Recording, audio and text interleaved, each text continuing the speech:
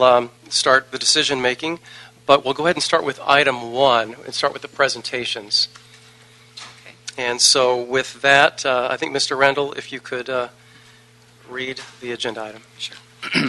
Item number one is a report from the Bureau of Engineering and City Administrative Officer reports in response to motion O'Farrell Krekorian relative to the city's participation as a non-federal sponsor for the United States Army Corps of Engineers Los Angeles River Ecosystem Restoration Project, also known as Alternative 20.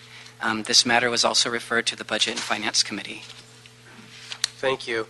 Now, what I'd like to do is invite uh, Gary Lee Moore from BOE up and uh, Matthias Farfan from CAO. And then, uh, Patty, uh, let's see.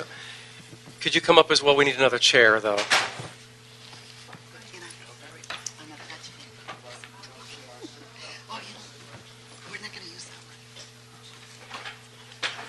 Oh, there we go. Oh, musical chairs. Mm-hmm.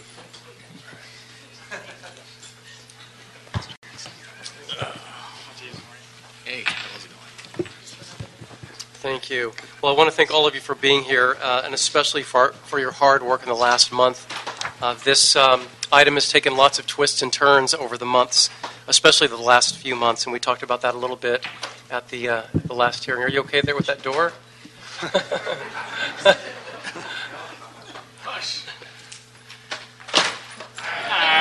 There we go. There he is, ladies Okay. and gentlemen. Victor Davis. And Tom Levine. There, there, everyone's coming in. So, Tom, for the first time, you were just upstaged.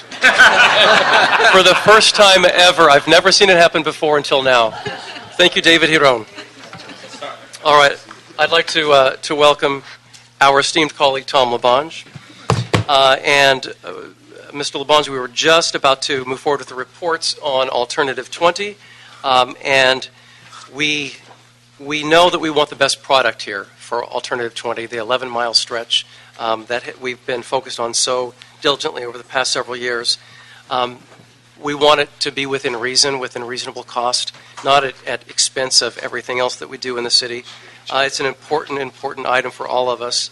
Um, and we know that with your collective expertise, we've been able to come up with a way forward. So I want to thank all of you in advance of that. Uh, so having having uh, said that, we are welcome, uh, joined by uh, Mr. Gil Cedillo from the First Council District. And so uh, let's go ahead and um, I- I'll tell you what, Mr. Moore, if you would start with your presentation fr- from BOE, uh, and then we'll go from there. Good afternoon, council members. Uh, Gary Lee Moore, City Engineer, Bureau of Engineering. Um, It's great to be here today to have this report before you, and I do want to acknowledge and thank uh, the chair. Uh, You and your staff have spent a lot of time with us in the recent weeks, and we sincerely appreciate, along with all the council members, but especially we thank you for your time and effort on this. Since uh, 2006, the, um, the City of Los Angeles has been serving as the non-federal sponsor for the uh, Los Angeles River Ecosystem Restoration Feasibility Study. And this study, which is, as you said, is an 11-mile stretch from Griffith Park to First Street. And the plan here today that we're here to talk about is the study's recommended plan, widely known as Alternative 20, is now also known as uh, Plan P, will be cost shared between the federal government and the city with its partners as the non-federal sponsor. And as part of this process, um, uh, the Army Corps has to take this study before their uh, Civil Works Review Board, and right now it's tentatively slated for the end of June for this. And as part of this, the city must submit a letter of intent affirming its commitment to the project as a non-federal sponsor and complete a non-federal sponsor self-certification of financial capability for the decision documents. And that is what's here today. Uh, I would reiterate that uh, this is a, a long-term implementation uh, of this project, and there will be many opportunities and steps along the way, and this is just another step in the process. It does not um, uh, uh, lock us into anything today, but it's another step in the process. That's all I have to say. Thank you. Uh, Matthias, would you like to add before Yeah. we open the questions? Mhm. Well, Matthias Farfan for Office of the CLA. And as a result of the, the city engineer's report at the previous uh, committee meeting, um, it was uh, noted that the costs have escalated since the, the last reporting on this item, so the CLA's office was asked to report back on what, what the primary drivers for those escalation of costs were. So the, the CLA submitted a report that goes through that, and it, and it pretty much places uh, the current estimated cost at $1.36 billion for the alternative 20, which is the, the locally preferred plan. Uh, the report also describes the, the cost sharing uh, that would be involved with this plan, and it pretty much just uh, focuses on the Army Corps' current position when it comes to uh, cost sharing. So that is all subject to change. Um, and we'll know more on that when the final report comes back for council approval in the fall. I mean, if there's any questions on that, I'd Thank be you. happy to answer them. And Ms. Huber, would you like to add anything on behalf of the CLA? Um, So with the CAO's office, uh, we would just continue to support our position from the last meeting and in the report that we issued. We understand that the documents that, that are part of the process at this point are not binding to the city. However, we continue to believe that a signature on behalf of the city actually has value and meaning. That's why they're asking for it. Um, We put in front of you a report that had a conceptual framework of a way that we could start looking at funding this project as we continue to firm up the numbers, as we continue to firm up the cost sharing. Um, And if, and, and uh, Mr. Santana's request is that, you know, council conceptually agree to this sort of funding framework. Um, It is not 100% everything that might be available to us over the course of the project. There may be other grant opportunities that arise, other ways that we can look at. We're open to any and all of those. They all come with, you know, some of them are competitive. We talked about, you know, the new um, enhanced infrastructure districts, which have their own unique processes and challenges. So we're open to any and all of those and, and think we need to look at all of them. Um, and in the concept of this sort of conceptual framework, he would have comfort level signing the report if council was willing to sign on that.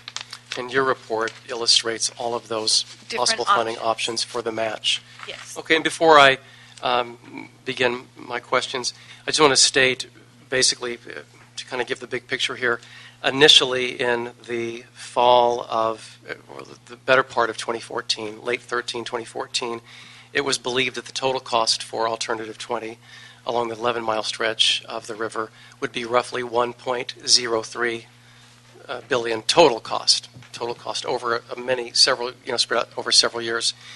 Um, and the city, uh, we unanimously passed a resolution for roughly half of a match over the long term. Uh, and the overall cost for Alternative 20 increased significantly by about $300 million, which puts it to about 1 point, well, maybe more, 1.4, is that right? One- One- 1.36. 1.36 billion. Um, and with that, the the match increased a great deal as well to half a billion. Um, I'm sorry, to a billion, roughly a billion dollars. So we went from roughly half a million dollar match to roughly a billion dollar match. And so, um, out of an abundance of caution, um, in working with our colleague Paul Krekorian, budget chair, uh, we wanted to uh, just get all of the details of what exactly we're committing ourselves to and what we're not committing ourselves to without jeopardizing the whole project. So, um, as as Mr. Moore mentioned, I think through a lot of meetings, uh, when I was in D.C., I had a meeting as well. I think we've ironed out exactly what gets us there without, uh, you know, the incredible uh, commitment that we're talking about. But it is a long time uh, financial capability. Um, uh, statement that we'll be able to uh, honor, um, but there are some caveats. So, um, with that, I, I would like to just ask a few questions, and, and I'll start with you, Gary. So, the discrepancy in cost sharing from the original, um, they, they were the result of what? If you could just go over for everyone, we talked about this last time, but if you could kind of go over the, the reason for the escalation in costs, and specifically the cost share um, without getting you know too much into the weeds about it. Uh, just kind of give us the big picture of, of why the the escalation in the match. Um, The cost uh, for the overall project uh, increased basically in um, two areas. I should say, in, in one area, which is what's called the lands, easements, rights-of-way, relocation and disposal. That, there's two parts to this uh, project cost. And in this 11-mile um, study area, there are, it's divided up into eight reaches. And in two of the reaches, the cost, there were cost increases for this land. Uh, The first reach, uh, Reach 3, which is from Ferraro Fields, right, uh, very close to the 5 Freeway 134 down to Brazil, and includes the Verdugo Wash. That increased uh, from September of 2013 by 76 million, and that was in the, uh, as I said, the acronym is called LERRDs. The, and then the other area that saw the significant increase was in uh, Reach 8, which is from Main Street to First Street. And this is the part that includes the uh, LATC uh, yard there, the Union Pacific yard, and that increased by approximately $220 million. And once again, that had to do with the lands, easements, rights-of-way relocations, and the key part of that being the uh, relocation. So that's, that's why uh, the cost increase. And as far as uh, the match increase, um, Mhm. that basically is because, uh, as the Army Corps understands it now, um, and I know further discussions are taking place, and we're all supportive of that, but uh, it's that the city would be responsible for land acquisition and remediation, and and relocation. Is that correct? Uh, For, for that- all these parcels? That is, that is correct. Perhaps that wasn't fully anticipated the first go-around? In the, in the um, September, in, in the uh, costs um, for, for the, uh, in September 2013, uh, my understanding is is that the Army Corps presented the cost breakdown as if it was uh, for a national ecosystem restoration plan. And now that it's now become a locally preferred plan, they have looked at the cost sharing differently because it's a uh, locally preferred is their actual recommendation. And once again, I think, Council Member, you said it exactly right. The city is continuing to look at different steps along the way to adjust this cost sharing. Okay. And so I understand there are still talks with, with Washington D.C., at the feds, at the Army Corps, um, and that is for a more equitable cost share. And if we aren't able to secure that, what, what do you envision the next step being? Given that, um, let's say we sign this and we move it forward and we do the letter of financial capability, um, if that isn't secured by the end of this year, how, how does this look? Well, I'm everly optimistic that uh, with the city council and the mayor, uh, there's many steps along the way that will get to that. Uh, But, but ultimately, it does come back before uh, the council here to consider. So there will be another opportunity. But I'm everly optimistic that working together um, with the Army Corps in Washington, that with the city council and the mayor, that uh, we'll, uh, we'll come up with a positive resolution. So this is really the first and critical bite of the apple, but before we actually commit to real funding, the project comes back after the uh, Army Corps General's report comes out in the fall, and then we're talking about, that's when we're talking about real dollars and, and real commitments on a project-by-project basis. Is that roughly true? Well, it's not, it's actually just, the plan would be approved.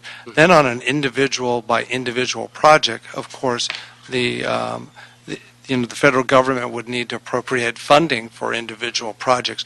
And uh, that's after we acquire the land. So really, although the full plan will come back to you when we start doing individual projects, we, if there's land acquisition, we would have to do it first. So it, once again, step one puts us back in control there. Secondly, the federal government has to also appropriate uh, uh, the necessary funding. So there's many places down the road uh, also in this process where, where people get an opportunity to review this. And so we're talking months if, and years, and, and um, to Ms. Huber's point, uh, the, the various funding me- mechanisms that are in your report, including getting an EIFD off the ground in the future, a portion of those monies in that 11-mile stretch could go toward a match for the various projects that are found in, in the ecosystem study. Um, and that's, the, so that's a years-long sort of um, process in concert with the appropriations from Congress. Yes, we see this as, uh, uh, as a m- multi, multi-year project.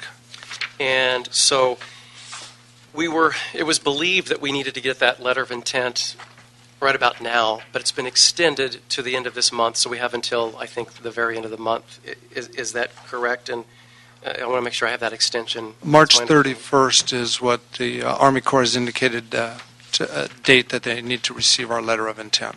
And if you could tell us one more time the very next steps, um, the Board Sure. of Civil Review Board and then the Army Corps report. Sure. What happens, uh, my understanding is, is that uh, right now the Civil Works Review Board, they are holding our spot at the end of June. Okay. So anticipation of receiving our letter of intent. From there, then we go into the, what's called the public review of the final report. So once again, the public will get an opportunity to review and comment again, and this is anticipated from uh, July or August. At that time, uh, the Chief of Engineers report then uh, is, uh, is, if, is to be approved in October of 2015. From there, then it would be returned to the city and the city council uh, for approval. Okay. All right. Terrific. So that, that's a couple of critical dates, and the city will have representa- representation in Washington for the Civil Works Review Board hearings, I'm sure. Yes, I, I would, I would hope that uh, quite a few of us would go Okay. uh, together as a team to be there. Uh, You know, and, and, uh, you know, I'm joined today by people who have just really dedicated themselves on this project. Our Chief Deputy City Engineer, Deborah Weintraub, uh, Dr. Carol Armstrong, and Michael Affeldt have been uh, really on the, on the day-to-day on this tremendously. So if I'm saying anything incorrectly, uh, team, let me know, because I, I want to make sure the council members have the best uh, possible information. This document is basically signed with their blood. Yes. And I'm aware of that Yes. because you've put your blood, sweat, and tears in this. I'm Yes. very aware of that and appreciative of that. Um, well, thank, thank you, Gary.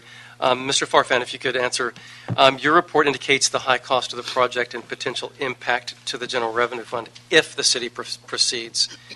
How does the preliminary funding framework, the preliminary framework, assist the project and potentially alleviate the general revenue fund concerns? Uh, Well, that would actually be covered under the, the CAO's report. so, Okay. uh, All right. Hubert could cover that one, but. uh, So, uh,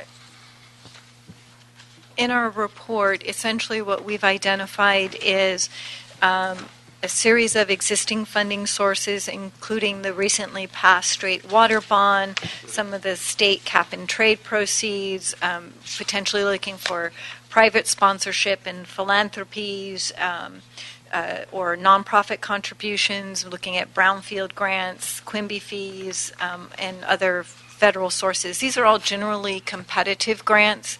Um, we have plugged in a small amount for uh, general fund. We really kind of pegged that number off of a, a very rough estimate of sort of operations and maintenance costs.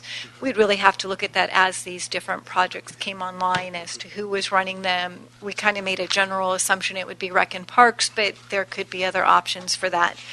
Um, and and with that, we kind of identified with you know our professional judgment about how competitive we might be in these different areas.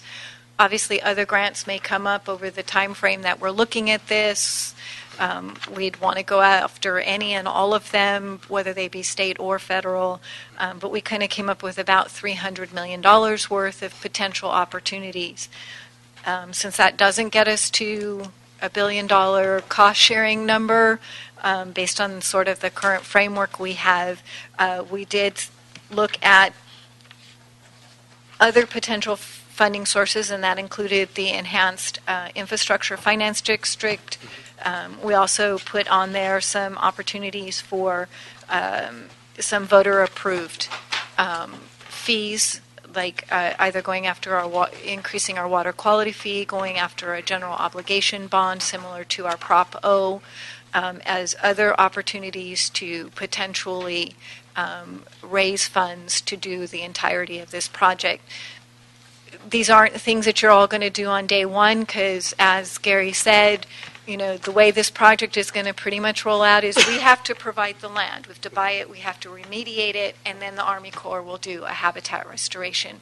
So it's going to be a give and take over the course of the project to find the funds to do our pieces of it as well as our cost share of the, the habitat restoration pieces. Okay, and I appreciate that, and um, I just want to make sure you feel comfortable with this, this way forward in terms of we're, we're able to exhibit that we have a financial capability, but we're also not writing a blank check.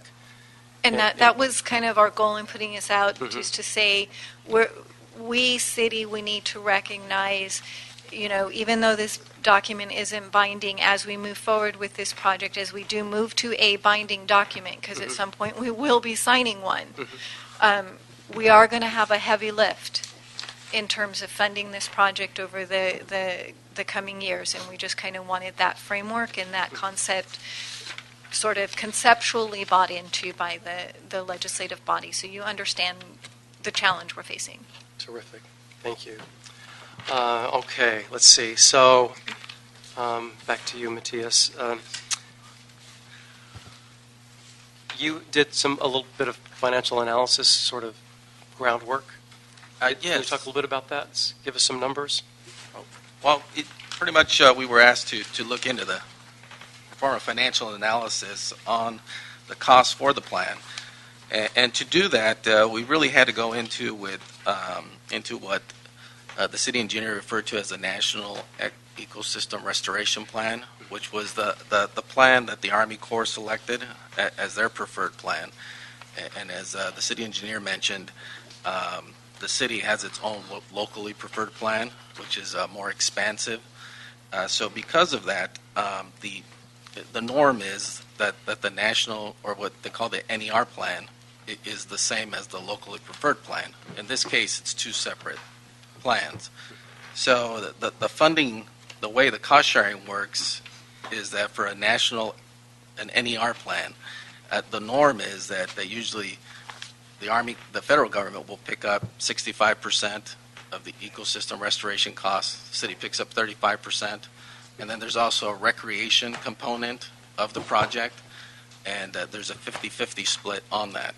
But that cost share plan only holds true if uh, the cost of the land is only 25% or less of the total project cost. Mhm. In this case, uh, the cost of the land, si- since it's in, uh, in the city of LA, uh, near downtown, um, it, it, it makes up more than 50% of the total project cost. Uh, because of that, uh, even for the NER plan, uh, there is already a modified cost sharing plan that the Army Corps ha- has put forward as their position, which pretty much would require the city to uh, pick up the, the entire cost of the land acquisition, the LERRDs, um, is what they're called, Mhm. and uh, the federal government would pick up the remainder for the ecosystem ration, restoration costs, but then on the recreation component of the project, then it would still be a 50-50 split. Mhm. But then that, going on to the locally preferred plan, which is alternative 20, that cost share model is built on the NER model.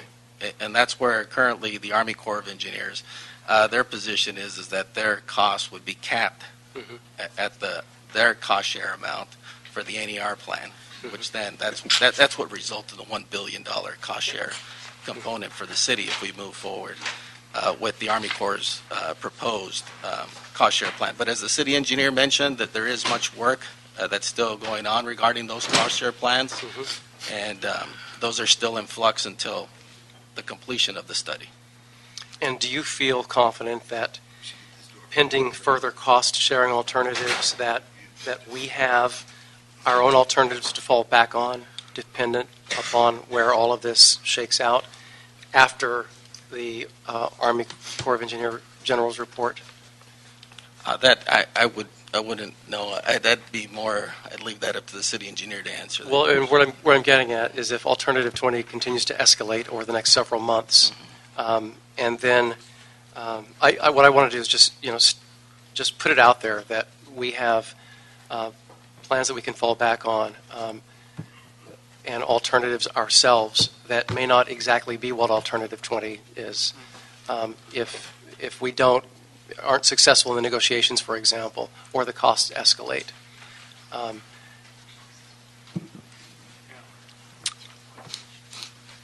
I think, uh, Councilmember, uh, you know, we've, we've all together said alternative 20, and we've been unwavering as a city. And as you know, during the public review process, it was overwhelming support. Uh, It was in the ni- 90s, high 90s for alternative 20. Um, uh, we haven't really approached them about uh, any other alternative at this time of- of not alternative 20. But if, once again, as, uh, you know, if that time came, uh, Right. you know, we as a city would, yes, Sure, Gary, and I'm not suggesting we do it all, Right. because I know that's, this process is not about that at all. right. But I just, I just want to just, you know, state for the record that we, we will figure a way out forward if, if the costs escalate um, and/or if the negotiations are, aren't successful or, or, or less than what we feel that they need to be. That so-called second bite at the apple before we, uh, you know, move forward. Yeah, but I'm not suggesting that we Right. Take that forward now. Um, But, okay, I just wanted to put that out there. And if I Uh, could just clarify yeah, one one please. last thing. It- The, the costs as well, the- I just want to emphasize that those are, are the present value cost. So it, as uh, the CAO and the city engineer have mentioned, this is a, this will be a 15 to 30-year lifespan of this project. And uh, so those, the cost will gradually increase as we acquire the land. I mean, land won't cost the same 10 years from now as it costs today. So all the dollar amounts that are, are listed in the CLA report, I just want to emphasize that those are our current costs. Okay. All right. Colleagues, questions or Yeah. comments? Yes, First, uh, yes, first Mr. comment for the CLA. Yeah. Uh, And hearing the chairman speak earlier, he said, take a bite out of the apple. I think he should be stricken and say a foot in the water. Number one. Number two, have you talked to the city of Glendale? Because Verdugo Narrows is primarily in the city of Glendale. Uh, You know, council member, as, uh, right now, we're, uh, for, we're, we work with the city of Glendale, the team has worked, but right now, this, this does not, uh, it's not about funding right now or partner, it's about just getting the plan approved. Okay, and, and then how much just at that particular area near Ferraro Soccer Field, named after the late great John Ferraro, two-time All-American uh, from USC. How much of that area do you plan to go into the water? Right there, it's all concrete, and there's a big interstate, the five, and there's a big state highway, the 134. How much do you want to touch underneath those pillars? Um, There is uh, land acquisition in that area, um, and we can go into details, but the land of that area, there's a a little bit, uh, well, we're, show- I'm showing 155 million for land acquisition in that area. So that, that's, uh, once again, is the land is incumbent, incumbent on us to secure, but that's the way, But uh, what would you do in the river there, Mr. City Engineer? I, if, if you'd like some details, I'll be glad. I do need some details, because here's what I'm saying, Gary. I love you, and I love all the people uh, who are doing this. Uh, But I also think we should focus on where the opportunity exists to transform the river in such a way that this groundswell of rapport, of support will go beyond the advocates that we know now. And just like I talked to the Department of Transportation about uh, not just the bikeway on the Los Angeles River, but all the San Fernando Valley washes, uh, from the Pacoima Wash to the the ones in the West Valley to all over. Those are right-of-ways that sit there that we could explore quickly. And the thing I want to just be cautious here, whatever is that, and I know that location real well, okay, that you speak of, and I'm saying, okay, that's a lot of money, and I got, a, but if there's an A plan and a B plan, meaning I don't want you to get stuck on an A plan when the B plan could get us to the promised land, because the promised land will then allow us to vision further. I also have been calling for all my time check dams in the Los Angeles River to hold the water back. So A, anybody live here in Long Beach from Long Beach here at all? Where's that? It's at the Long Beach. It's a Long Beach because of that river.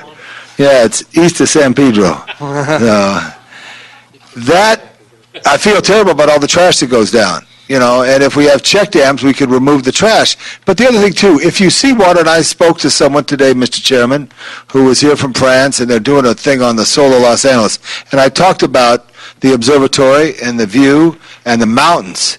And I think as individuals, as we see mountains, it gives us inspiration. If see see water, it gives us inspiration. Inspiration from the observatory, you see the ocean, and on a clear day, it's absolutely unbelievable. And this time of year, it's sometimes real special. The point being, those who cross the wonderful uh, part of the City Beautiful Movement bridges, and then you're restoring right now, uh, many of them, if they see that water instead of concrete, they feel different than if they see concrete. So check dams, just give it to us. And then, it allows other things to happen. You build support. There's a reality to it. Let me ask you another question. You ever been to Omaha? No, sir. Okay, you know who's in Omaha? No. Union Pacific. Okay, and I think someone should go to Omaha, Mr. Chair, and just have a casual conversation. And also, someone should go to San Pedro and talk to what if the the Midway Yard, which used to be a Southern Pacific Yard when we ran passenger service, what if that's not in the equation? Because that's a big equation. I love the concept. In fact, if we were bidding for the 2024 games, there was a whole big. It was exciting but it didn't go anywhere because we didn't get it. There was a whole big movement to put everything on the river corridor as far as the housing, the villages, and et cetera, and tie in the venues from Dominguez, Cal State Dominguez Hills, and everything like that. And Mr. Buscaino, you know, you may or may not have heard, they would have moved in about 20 uh, uh, ocean liners to provide housing like they did at other events, you know, because there's not all the hotel spaces. But, but anyway, it didn't happen. But I think we should talk to the people of Omaha, see what they want to do, see what the future is. You know why Park La Brea is at third and uh, third in La Brea and third in Wilshire or sixth? Because we had a housing shortage after the war. It wasn't zoned for high rise, but it became that.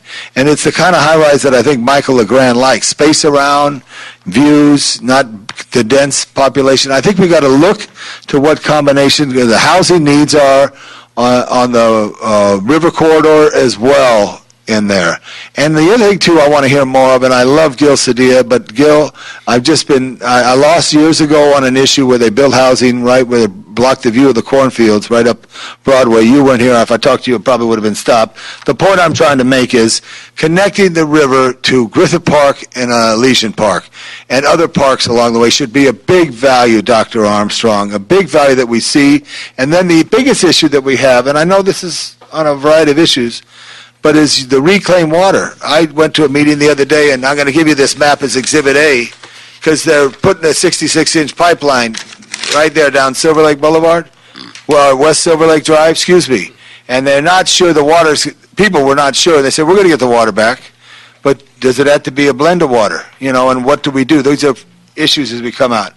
So I lay that on there. I'll, uh, I don't know what it costs to go to Omaha, you know, but, uh, I think the Greyhound still has a stop there. That take longer. I want you back in town. We'll get you on a, a fast freight or something. But I think we should talk to the railroad if we're talking about that. So then we go back because Mr. Chair, you talked about not you know not being easy, Mr. CAO. You talked about it not being easy. You got to get that fixed because there's emergency. Doesn't open fast enough. Thank you, Madam Clerk. I'm just saying that if, if we look at all this thing, there's an opportunity to do it right. If we take such a big picture, they don't believe it. But if we start by increments, it's happening. And I can't tell you how special the river was this year after the rains. And I walked on a Sunday morning, and it was so beautiful. The flows were not heavy as a storm, but they're rushing as if you felt you were really at a real river. So I want to thank you. I just want to put that on. But I think we should reach out because, you know, they're partners in the future. And, uh, I see why you picked Carol Armstrong, I know, because she's 20 years from retirement, so she may get this done. Okay, I'm teasing you, Carol. Thank you. Thank you, Mr. LaBonge. I'm happy to go to Omaha if Joe will go to San Pedro. Send him to Long Beach. Um, all right, Mr. Buscaino. Any- Okay. And I just wanted to state for the record, Tom, that my office has been working with BOE, with the city of Glendale. I've met with them on uh, several occasions, and we're actually establishing the connectivity. They're putting a landing for another pedestrian bridge across their wash. Duran, I know, I Yeah. suggested that a long time Right, ago. So, but they're they're building, uh, uh, you know, th- they're going to engineer a, a place where we can actually place the bridge, Yeah. reestablish the connectivity, uh, and we just have to get it funded. So that's why we're, you know, that that would be part of the vision of the North Atwater Park. A- And a, and a uh, Metrolink, M- Metrolink stop. So you want to take out all the property there where the... No, I'm not propane- saying I want to No. take out anything. Okay. I'm just saying that we're moving forward with a vision that establishes connectivity, I got while it. the rest of um, the the vision of the of the river moves forward. But, but the point I was making to that particular, because there's so many pillars in the river that hold up a freeway, would Caltrans and others be against touching any of this? Because of all you have to do to hold the freeway, right now it's into the, 'cause that's what I'm saying, go where the, where you get a hit, you know, right away. Thanks. Yes, sir. All right. Well, thank you all so much. Um, I uh, would. We have one public comment card, so I want to thank all of you for answering, and we'll, we'll move forward here. But uh, we have one public comment card, um, and that is Mr. Lewis MacAdams.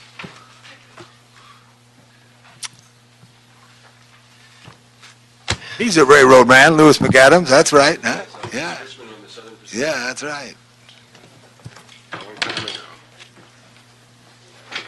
Lewis, I didn't even see you. So, but welcome. I'm glad you're here. I am glad I'm here too. It's Lew- Lewis MacAdams, Friends of the Los Angeles River. Um, the what we're trying to accomplish here today is something Friends of the Los Angeles River has been working on for many years, two or three, almost three decades. That we Friends of the Los Angeles River went so far as to actually put a million dollars to the Corps of Engineers, the first time in the history of the United States Corps of Engineers where they took money from private donations, allowed them to finish the ARBOR study. The Friends of the Los Angeles River organized the Piggyback Yard Collaborative, which for the last more than 10 years has been pointing at the Piggyback Yard and saying, this land belongs to the public, it's for flood detention, parkland creation, and wetlands restoration. Uh, we were very we worried a lot that this that the Piggyback Yard was not going to be included in this study and and, the, going forward because it is a large scale, a big ticket item. But fortunately, you guys were visionary enough to see through that short-term thinking and uh, see this uh, as a project that will take. It's like building a subway system. Building a better river is like building a subway system because it's an infrastructural move that we're all make, committing ourselves to. Um, I would just wanted to say that the we are very supportive of signing this letter of intent. We know it's a big step for the city. We know it's a big step for the river. We know it's a big step for the all of us who care about the Los Angeles River. And this is we know that this is not the binding final word on the subject, but it's a major step. It's a step forward into the future. And I congratulate this committee for its bravery in taking this on on behalf of Los Angeles. Thank you very much. Thank you, Mr. MacAdams. We would not be where we are if it weren't for you. So thank you. Sure, anytime. All right, colleagues, um, I uh, suggest that we note and file the CLA report and approve and move to council the BOE and CAO report, and with the understanding that this item is also pending in Budget Committee. Um, nonetheless, it all moves forward pending um, what our budget chair says. Without objection, we move it forward. Thank you. And colleagues, at this time, I would recommend that we take items three, four, and seven on consent Move it. if there are no objections. All right. Um, having said that, I'd like to move to item number two. Item number two is a Bureau of Engineering report relative to the status of various projects connected with the Los Angeles River Revitalization Master Plan. Hey, Linda, Thank you. Dr. Armstrong. Good afternoon, Chairman O'Farrell. Uh, Carol Armstrong, uh, on loan from uh, Bureau of Engineering as uh, River Works in City Hall under Mayor Garcetti. I just want to go over a couple of highlights in the report. Um, we have uh, some some exciting action on LA River Greenway 2020. A lot of the action has been happening in the valley. Sepulveda to Kester is in construction, and its grand opening we expect in later this summer. That's in Council District 4. Coldwater to Whitsett is in design, and its groundbreaking is expected also midsummer, and that is in Council District 2. Coldwater to Whitsett on the North Bank is um, in construction, and that is a project of Community Conservation Solutions. That's on the North Bank, also in Council District 2, so we would sort of have a river loop going on there once those are both completed. Um, so Van, Al- Vanalden to Balboa, the city uh, team put together a concept for the state's affordable housing and sustainable communities grant program, but it was not selected to advance. Um, however, uh, we are now working with um, the River Revitalization Corporation, FOLAR, Metro, and LADOT to um, see if we can get some support from LA InSync on the grant writing to get this uh, project advanced for um, ATP, Active Transportation Program funds. Uh, I wanted to acknowledge our, um, our colleagues at the county who have been leading the effort on the Whitsett to Riverside Zoo segment of the Greenway, and our colleagues at Metro who are advancing the downtown in-channel bike path from Barclay to the city of Maywood. So you can see a lot of council districts will be touched by these Greenway 2020 projects, and it's pretty exciting. Um, There are a variety of uh, key projects along the river that are underway. Uh, Of course, the Trust for Public Lands, Aliso Creek Confluence Park is in design, and it still needs funds. The Caballero Creek Confluence Park is an MRCA project. Um, The Mountains Recreation Conservation Authority, and that one's also in design.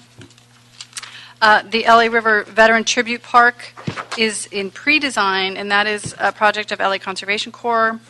And the LA, and the La Kretz Crossing is a project of the LA River Revitalization Corporation. Um, We're very excited about the next steps on Central Service Yard, the master planning. That will be very obvious and a very large-scale change. Of course, we're very excited about Taylor Yard G2, the acquisition. We know the negotiation is ongoing. Um, Taylor Yard Bridge represents a partnership. On here, it says of uh, the city and BOE is the lead, but I also want to acknowledge Metro that helped fund the design and the Department of Water and Power because it will be bringing a recycled water pipeline across the river as well. and then Albion Dairy Park, of course, um, which would be the first uh, park on the east side of downtown Los Angeles in a really long time. So that pre-design report is being finalized right now.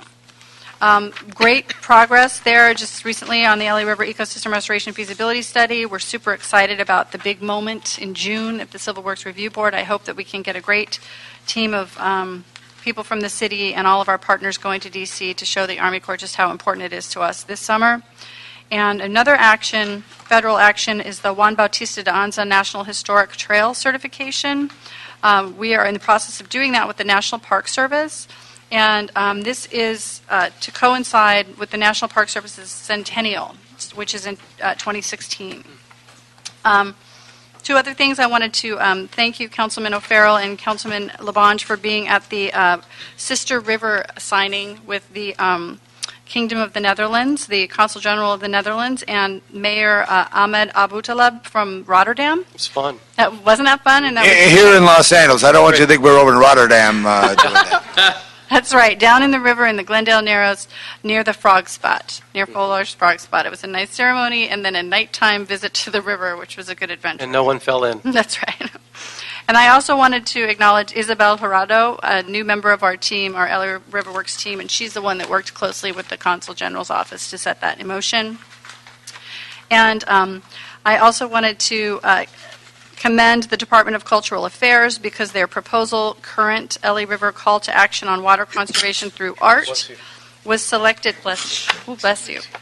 It was selected as one of 12 finalists for a million dollars from the Bloomberg Public Art Challenge, and three cities will be selected from the 12 finalists, and that will mean that we will have a river public arts program, a biennial, in the city, but the first one will be on the river, and that would, um, that would be very exciting to allow people public access to areas they hadn't accessed before, and would also help build out a recommendation of the city's master plan.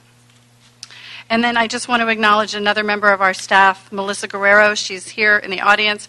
She was the one who organized our Cicla Rio at CicLAvia yesterday in the Valley. And it was in partnership with FOLAR, the RRC, and Play the LA River. Nice, thank you. Uh, So, Carol, if you could, uh, the, the Taylor Yard Bridge, what is the latest and greatest in terms of funding, the gap, the construction timeline, et cetera? Okay, that's a very good question. This is a project of um, the City uh, Bureau of Engineering, and um, this project, as far as I understand it, was in the, um, in the budget request for, um, I believe they need uh, about $7 million to construct it.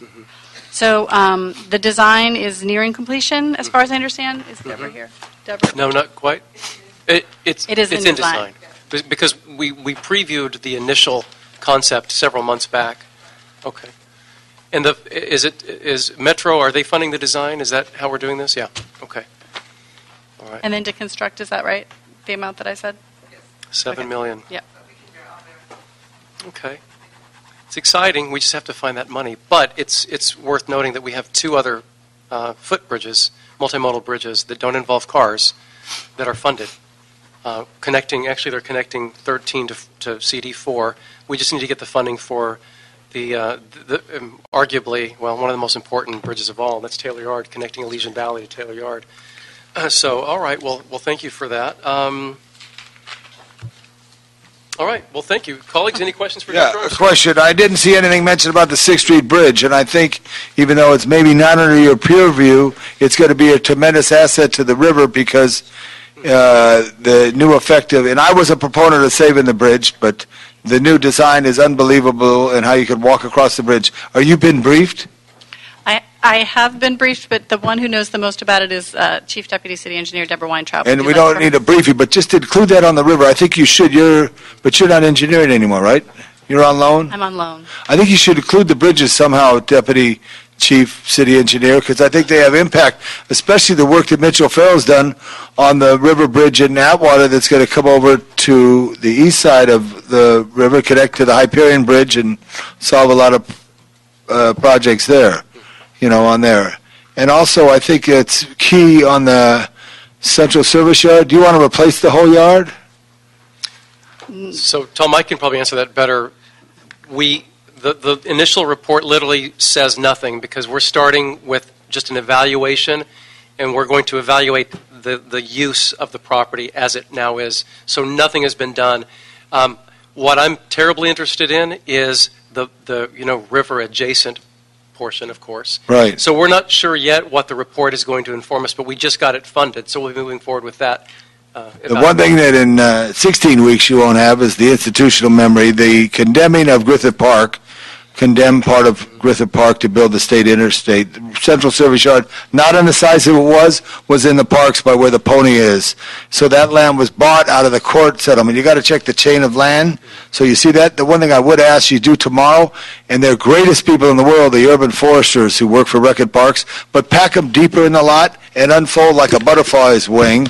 I tried to do this was in my district. Un- unfold like a butterfly's wing that section where you've done such a wonderful job at the Los Angeles River Park where the Secretary of the Interior came out. That's easy, you know, to do and and all that stuff. But do an assessment. But but the one challenge that Recreation Parks has and other departments that were in the 223 North Figueroa is they're very uh, hurt by that fire relocation to get caught up to speed. So that's something that I I know that would be good to to to look at, Mr. O'Farrell, because it's right there, and also the K the K. Uh, uh, zone for all the horses to make their sure they establish there.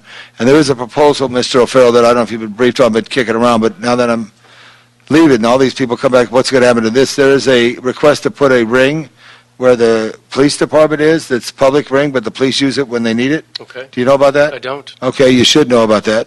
So, uh, I know, we sure will. But no, we'll walk out and see what we can do, because it's been kicking around a lot through the police department. Okay, and Dr. Armstrong, I just want to say this because I don't know, and Deputy Chief Deborah Weintraub, just want to thank you. You're two of the, this is a salute to Women's Week in the United States. I don't know if you know that. And women engineers are very important. You've really done a great job, both of you. Thank you.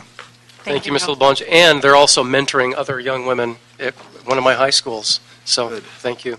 Uh, so, uh, in in a couple of months, I'd like you to come back. In fact, couple come back every two months, bi-monthly, um, and uh, report on all river projects. That would be great. So, Mr. LaBonge, Yeah. Dr. Armstrong will be back in May to give you a full, final report. But you won't be you won't be forgotten because I'll probably be calling you every other day on institutional Oh, I know. things. Yes, I will. Thank you, Mitch. All right, thank you, thank you, Dr. Armstrong. Um, All right, Um, now I would like to go to item five. Um, Mr. Chair, do you wish to note and file the, the Oh, yes, report that was note- note submitted? and file, thank you. Item number five is a city attorney report and ordinance relative to the establishment of a trust fund to support the operations of the Los Angeles City Health Commission and the amendment of the City Health Commission ordinance to remove restriction on funding. This matter was also referred to the Budget and Finance Committee. Thank you, and we have uh, City Attorney Valerie Flores. One of the great city attorneys I on my I second that.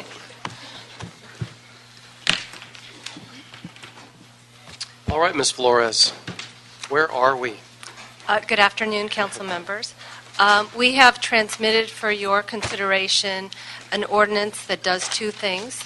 It establishes a trust fund to accept donations uh, for the operations of the new City Health Commission. We have already received one uh, large and generous uh, donation offer of $100,000.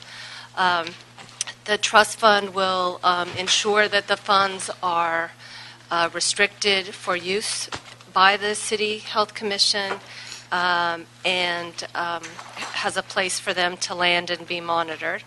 Um, And then the second part of the ordinance um, actually removes a funding restriction in the original ordinance. You may recall that the original ordinance was adopted by council as a result of a successful petition drive. So the uh, ordinance cannot be amended unless um, the amendments further the purpose of the ordinance.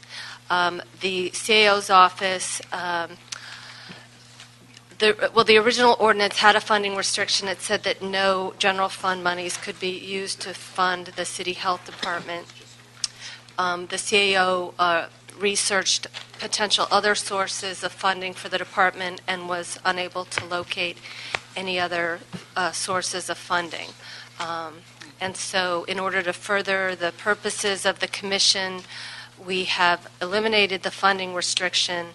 The elimination of the funding restriction does note that the general fund won't be obligated to provide funds for the City Health Commission, but if the uh, council and mayor desire to use general funds for the Health Commission, they can do so. Did you Right. say, I thought I heard you say that the general funds will be or will not be?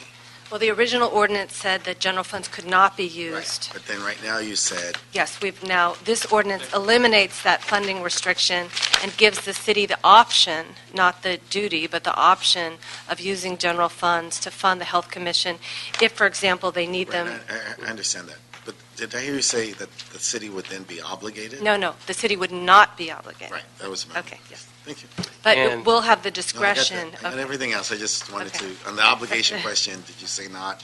or yes, there will? was a not in there. Mhm. If I was speaking too quickly, I apologize. That's not like you. Well, I want to, I want to thank the city attorney's office for working so closely with my office to really unlock that, because it was kind of the poison pill preventing us from getting this off the ground. And we have this generous donation uh, from AIDS Healthcare Foundation to really get this commission up and running. So um, I really want to commend you for that. Um, Is there a time frame in terms of when the donation will, will transmit? Um, Well, when the um, ordinance becomes effective and the tr- uh, fund is established, we can accept it any time thereafter. Okay, so um, I understand this item is pending in Budget and Finance, but we'd like to hear from the city clerk regarding the process for sending out the, what we want to do is we want to get the commission up and running. So uh, how quickly can we send out the letters? Uh, I think most council members have identified their selection for a commissioner. Holly. Holly Wolcott, City Clerk. Normally, actually, the council president sends out commission letters, although if the city clerk is instructed to do so, we would be happy to. Okay, I, well, I don't mind going through the normal process. That's, that sounds good. Uh, But it would, we wouldn't want to jump the gun. We want to get the ordinance adopted first, correct? So that it's in the books, and then the letters would go out immediately after? Correct. And once we are notified from every one of the, um, by all the council offices of their uh, Their Commissioners. nominees? Mhm. All right. nominees, then we can put a meeting And, together. and it's also shortly my, thereafter. under- I'm sorry to talk over you. It's also my understanding that the commissioners are simply appointed by the council member, and there is no, um, it- that, there's no review process for, for the whole city council. It's just, I adopt my commissioner, and they're the commissioner. Is That's, that, that's my understanding. that's my understanding as well? That's my understanding. that's the word I was looking for. No, no confirmation process. All right. Just Uh, a technical question, Holly. In my particular case, if I appoint someone, does that mean they're only appointed as long as I'm here? Or is there a term? I would have to. Good. We'd have to. If you could check that, because I want a recommendation from the city clerk's office. I'm going to guess it's until until they're replaced by. Yeah, I mean, as long as you are the sitting council member, you do have the Uh-huh. authority to appoint, so let me just. um, But if I it would would- assume a I'm new just checking to see. a if new it's- council person could have the choice of either continuing that So one-year appointment? Got it, okay, good, okay. Are any restrictions on reappointments or? No, I don't- Sorry, All right. no. So the, one- the person would serve for one year, and then the new council person, whoever she or he may be, could select somebody. Correct. Got it, oh, thanks. There was a, just correct me, It seemed to me that part of the premise of this commission was that there was not going to be general fund. Was that, am I mistaken? That was the original Yes, the original ordinance, um, the premise of it would be that uh, there would be no general funds used. Right, and that was kind of the previous discussion we had about not delaying the appointment, even though we didn't have the infrastructure in place, it didn't preclude us from making our appointments, right? Right, there was a bit of a catch-22 because um, without any other funding other than general funds in place, even city staff time Right, right. working on the appointments might be illegal under the ordinance. Right. but And the- so that's why we've removed the funding restriction, so that city staff can go through the process of um, facilitating the appointments. But we also now have revenue streams, right, or a revenue stream. We, we hope to get um, the, the offered $100,000 donation, and um, I think the idea would be that any donations would be used first before the general fund is tapped, but you just now have the option, if you adopt the ordinance, of tapping the general fund if need be in the future. Just a quick, so you accept the hundred thousand dollars and you put it in a trust account? Correct. Got it, thank you.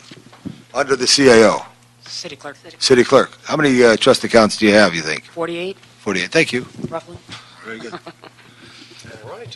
Thank you so much. Thank you. And we have uh, four comment cards on this, starting with Bradley Hertz, followed by Stanley Chapman, followed by Terry Morant, I think. That's, that's for you, they started today, FYI. Good afternoon, Mr. afternoon. Chairman, members of the committee. My name is Bradley Hertz of the Sutton Law Firm, and I'm here today on behalf of the AIDS Healthcare Foundation and Michael Weinstein. Um, With me today are several health advocates who work with AIDS Healthcare Foundation on public health matters, uh, a few of whom will speak to us today. Welcome, and thanks for coming downtown to see us. Um, We're here today to speak in support of Agenda Item 5. We thank the City Attorney's Office and city staff for working to create the language that creates the trust fund, uh, as well as the amendment to the Health Protection Act. Um, We also urge the immediate appointment of the members of the commission so that notice can be provided to them, the seed money can be provided by AIDS Healthcare Foundation, and the act can be amended. Um, In Section 7 of the Act, under amendment, 30 days' notice is required to the commission before the ordinance can take effect. So we think uh, the steps should be notice to, uh, notice for the appointment, the appointment, notice to the appointees, then the amendments, and then the uh, money will be forthcoming as requested so that the, uh, the commission can get going. Thank you so much. Thank you. And uh, Counselor, I have one requirement, since you know Mr. Weinstein.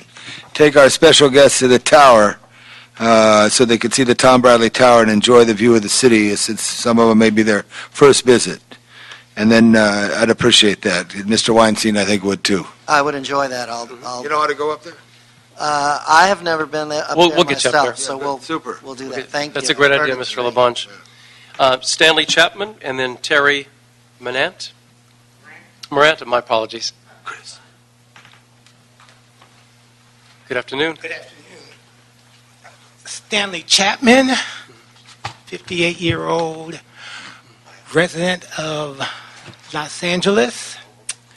I thank you for considering and adopting this ordinance and putting it, putting, uh, setting up the trust fund because it's greatly needed, the commission for health, for health of all kinds, for people young, old, alike. Thank you again. Thank you. Thank you very much. Thank you Appreciate so it. much. Uh, Mr. Morant, followed by Charles Lawson. Good afternoon. My name is Terry Grant. Um, I myself am here because I like the simplicity of what I have read and what I've heard from uh, some of the people that I've been going to school with. Documentation, I think, is the most important thing in a matter like this so that we can keep up with what is going on step by step. So for me, it's just the simplicity of the whole matter. And it really isn't complicated at all because sometimes we seem to make things complicated when they really are not. So, for me, that's it. Thank you. Thank you, Mr. Grant.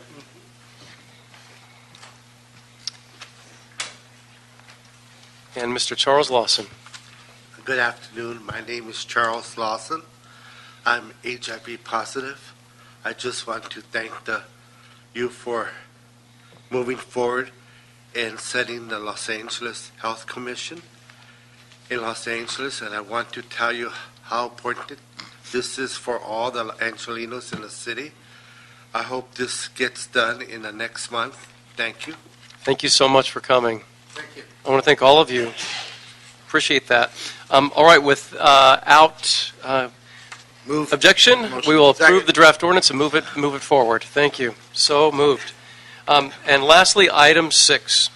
Item number six is a city administrative officer report relative to a request from the Department on Disability for retroactive authority to execute 16 service contracts to provide HIV prevention services throughout the city of Los Angeles. Motion. Thank you. So do we?